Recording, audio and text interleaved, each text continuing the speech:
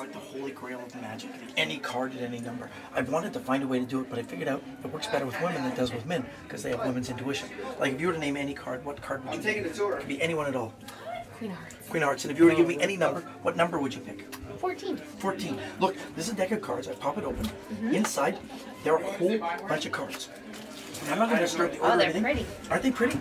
They're very pretty. This little deck of cards, I want you to take and count 14 cards onto my hand. And you can do them face up if you want to, just so you can see they're all different. One, two, three, four, five, six, seven, eight, nine, 10, 11, 12, 13, and then 14 is the card you picked. And what was the, car- uh, the, the card value? Queen of Hearts.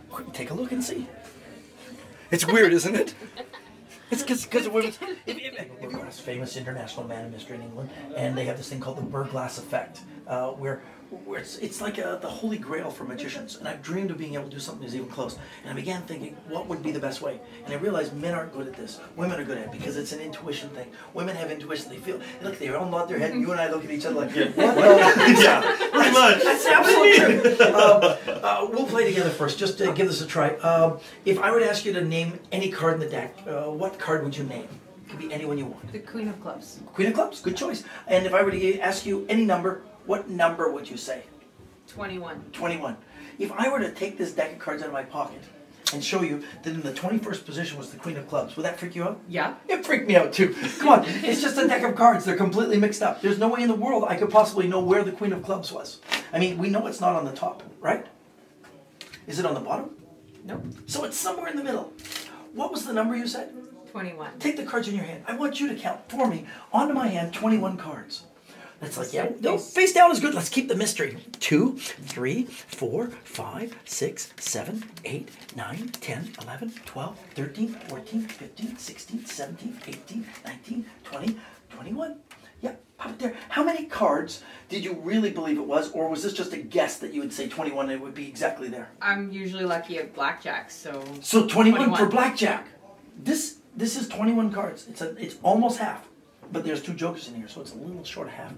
But this is where you stopped. Yeah. A single card in this whole deck. Take a look at that card and tell me what it is and if you're even in the clubs or the What? Seriously? Queen of Clubs. Seriously? Okay, now you're freaking me out because the first one's supposed to be kind of like a look. It's not that easy, huh? Oh, oh you really got it. Okay. Uh, may- maybe it's because you told me what the card was, and I have some ability to. So here we'll do a little bit different. Uh, why don't you take out a card, any card you want to? Look at the card. Don't let me see it, but let them see it. Then uh, place it back anywhere you'd like to into the deck. You guys saw it?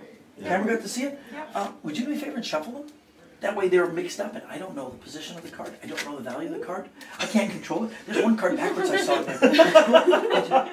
I saw it just go by. That's good. That's not your card, is it? No. Oh, good, good, good. Keep shuffling. But that would have been me doing It would have that. been Yeah, so yeah, right. It would been like, and your card's the ten of spades. How weird would that have been?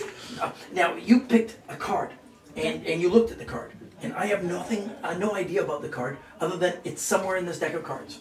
Just for clarity, is it on the top? No. It's not on the top. Uh, near the top? No. Near the bottom. No. Somewhere in the middle. You know what the card is, right? Mm -hmm. Good. Take the cards in your hand. Begin placing them on my hand. Just start placing them down. Do you have a number in mind? Yes. What number is it? Uh, Any number from 15. 15? 15. Are you anywhere near it yet? That's 1, 2, 3, 4, 5, 6, 7, 8. Keep going. 9, 10, 11, 12, 13, 14, 15 cards. 15 cards. Mm-hmm. For the first time, what was the name of the card you picked? Ten of Hearts. Oh, so like ten of spades, ten of hearts. That was really Yeah, weird. that was kind of cool. yeah. That was really weird. And then you picked the number fifteen, which is like twenty-five, which is close to the twenty-one that you picked the last time. This is kind of like freaking me out. For the first time, take a look at the card you stopped on and tell me what it is. The Ten of Hearts. Wait, no way.